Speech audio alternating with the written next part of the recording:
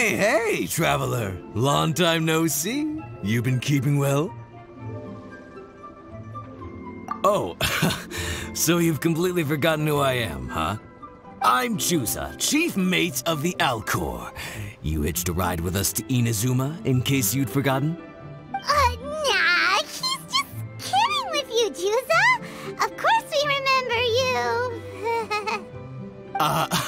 I was gonna say, this is the Alcor we're talking about here, and I'm the chief mate to boot. Not me, actually. It's Kaedehara Kid, a temporary crew member of ours. You know him, right? He came back with us on the return trip from Inazuma. I don't know what's been going on with him, but he was in really high spirits the whole way back. He kept trying to get everyone to join him for some poetry and song. Unfortunately, no one on board, from Captain Beidou to Little Yue, has that kind of, um... kind of... you know... uh...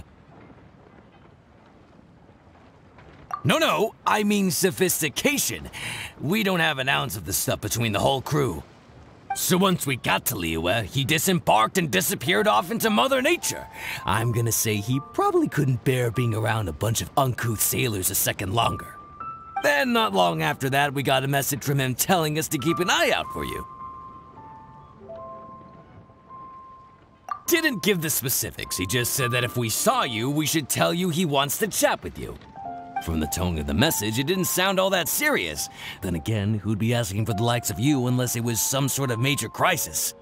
Actually, we deal with little things all the time, don't we?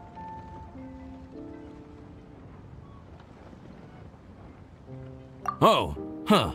Never would have guessed. So you do everyone's odd jobs too. No wonder the captain's so fond of you. She's got a soft spot for the honest, hard-working folks of this world, you know? Getting sidetracked. Please go check up on Kaedehara Kid when you get the chance. Last I heard, he was hanging around the north of Liyue. I've got some things to do on the boat. See you around and safe travels!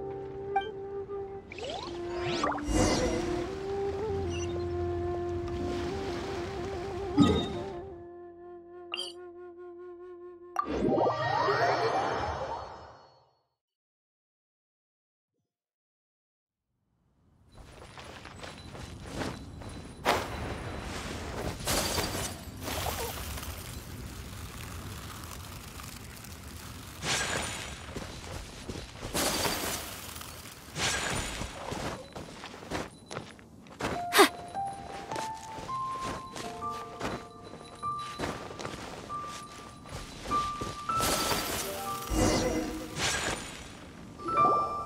While the bridge slowly withers, the strings gently whisper. A twilight melody from the solitary zither. Hey, hey, Kaedehara Kid! So, what are you up to here? We've come to help! You made it. Good to see you again. This appellation, Kaedehara Kid, when uttered by Paimon, it takes on a whole new tone. Paimon learned it from Chief Mate Juza. What makes you say that? Do I usually mope around as if perpetually hounded by adverse fate? It's cause Juza said that you needed us for something. We didn't expect to find you admiring the scenery and reciting poetry without a care in the whole world. The events of Inazuma are behind me, and no longer linger on my mind. Now I return to Liyue. It is the natural time to explore all the verses and melodies that arise from this land. As to the matter requiring your assistance, there was none to begin with. Unfortunately, you are too late for that, because now there is. Huh? That was really confusing. There was none to begin with, but somehow now there still is. What? Have you been eating those wild plants that you're not supposed to? Cause you're talking total baloney. Shh. Listen. What do you think? Wow. Well, Paimon thinks you play just like another bard we know, who plays for loose change. Oh? You're friends with a professional bard? I hope I have the chance to meet them someday. Traveler, what do you think? Very good. You're right. More to the point, however, it has a certain special ability. I acquired this anonymous ancient zither from an abandoned cave dwelling as I was exploring the mountains. When I first found it, it was old, but intact. The sight of it inspired me, and suddenly I found myself strumming. To my surprise, as soon as the melody began, my mind began to drift, and I could hear the sound of someone playing along with me. Somehow, it all felt so familiar. Uh, just to circle back for a second, are you sure you haven't been eating anything suspicious that makes you see things that aren't there? I don't believe so. Because when the melody ended, my mind became completely clear again. That's when I finally started to inspect my surroundings properly. As expected, it was a place full of mystery. The cave was overrun with weeds, so I imagine the owner left a long time ago. But the table and chair were spotless and gave off a fine and delicate fragrance. Even the ever-present sound of the wind fell silent in that place. It was quite miraculous. I can only assume that it must have been the treasure trove of a fabled Liyue Adeptus. Whoa, so this instrument is an Adeptus treasure? Who can say? Regardless, it was a wondrous experience, and after it was over, I thought to myself, I simply must share this with a friend.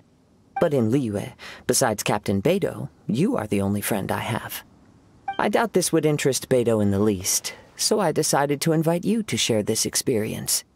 I asked Chief Mate Juza to be on the lookout for you, but unfortunately, the ancient zither broke before you arrived. The fault is my own.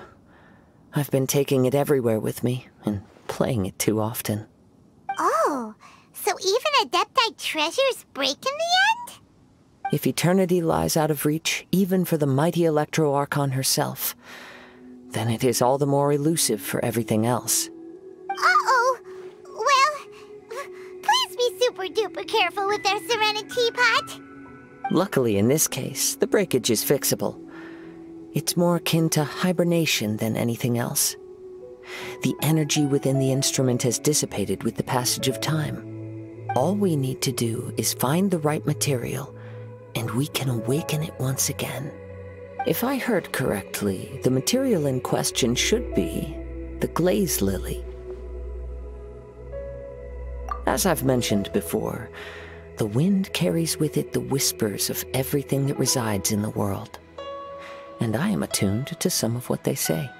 So I am privy to a few fragments of this ancient zither's history. Go on. I'll wait here for you. You are the savior of Liyue Harbor. I'm sure this should be well within your ability to handle.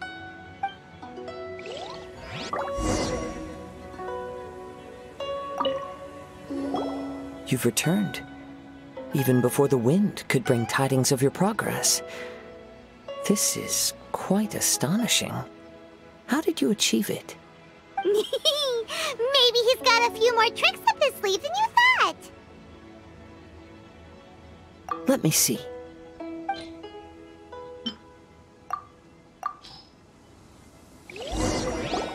Good. These are fine specimens. There will be plenty. If we extract the juices and apply them to the body of the instrument, it should awaken from its present slumber. Yes, there it is. That familiar feeling. It's awoken. Come, try it for yourself. It's all yours. Can a poet not be forthright in expression? Then let me rephrase. This instrument is my gift unto you. I came back to Liyue to listen to what this region of the world has to say. In these vast and ancient lands watched over by the Geo Archon, there are countless soft voices to be heard. This gives me all the satisfaction I desire. Of course, should there come a day when you wish to part with this instrument, I will come to collect it. But I hope that day will never come. Well, my onward journey beckons. What is the customary Liyue saying at moments like this? Ah, yes. We will meet again.